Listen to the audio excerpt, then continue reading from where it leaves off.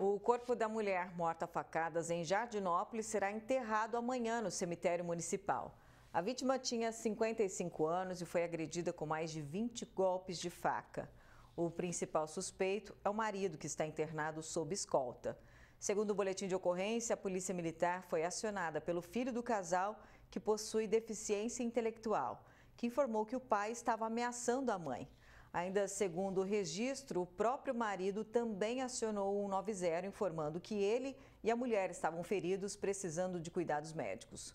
O filho teria pego uma panela para golpear o agressor.